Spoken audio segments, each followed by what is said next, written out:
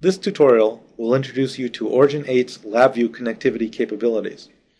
On the left, you will see that I am using the 6009 simple LV71 example. This is one of many built-in VIs in Origin's LabVIEW sample subfolder. This VI was created to acquire data from a National Instrument 6009 device, which is just a small A to D converter. Its most visual component is a graph panel object to display incoming data. If I press Ctrl E, I see the block diagram for this VI.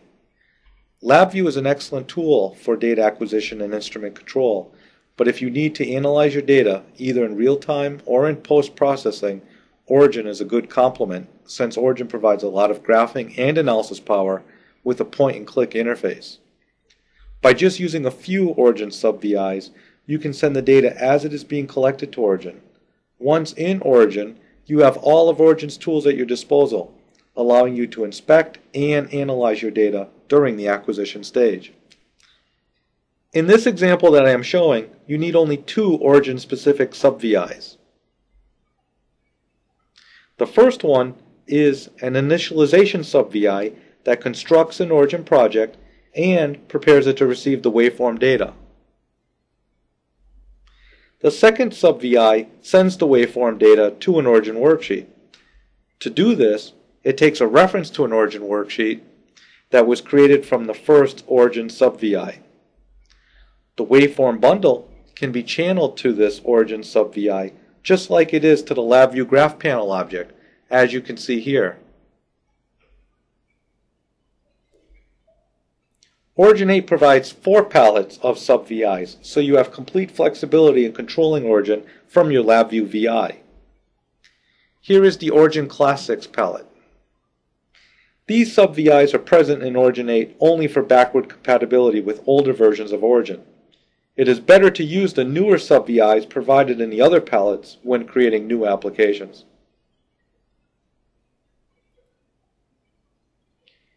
The other three palettes provide newer sub-VIs which are more efficient and much easier to use. To help visually identify the new sub-VIs, they all share the same appearance, including the palette icon. They all say OA on the top in an orange banner with their function icon in green. This is the Origin App palette. These are the basic sub-VIs that handle the Origin OPJ files and access to Origin worksheets and columns. This is the Origin Matrix palette. These sub-VIs are for setting and getting data from Origin Matrix objects in an Origin project. Here is the Origin Waveforms palette. This group of sub-VIs is for handling LabVIEW waveform data, the same type of data that you would typically wire into a chart in LabVIEW. Origin has native waveform support in worksheet columns, so these sub-VIs allow you to directly connect a waveform to Origin. Now I will run the LabVIEW VI.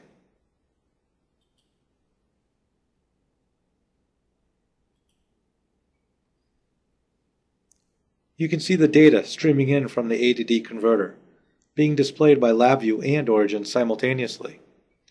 I happen to have a solar cell connected to the converter so I can measure voltage when the cell is exposed to different intensities of light. If I cover the solar cell with my hand slowly, we can see the voltage drop as I block the light from the cell. As I move my hand away from the solar cell, the higher voltage signal returns. Now I do not have to wait for the experiment to be completed before I can do some exploration and analysis.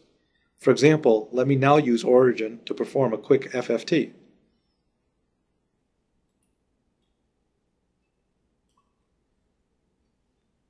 I will use the magnifier tool on the raw data to zoom into a region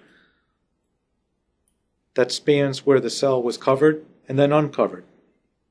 I select Analysis, Data Exploration, Quick FFT tool. The Quick FFT provides a yellow range indicator to set the region of interest on the raw data for the FFT.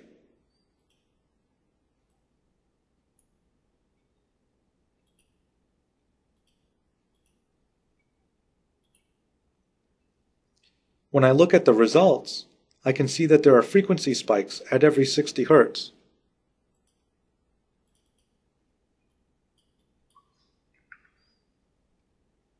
These are simply harmonics due to the 60 Hz AC line powering the fluorescent lights above.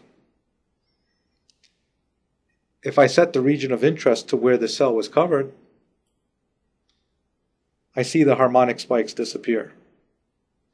As you can see, it is very easy to use Origin to perform exploration and analysis even as the raw data continues to stream in. Thank you for watching.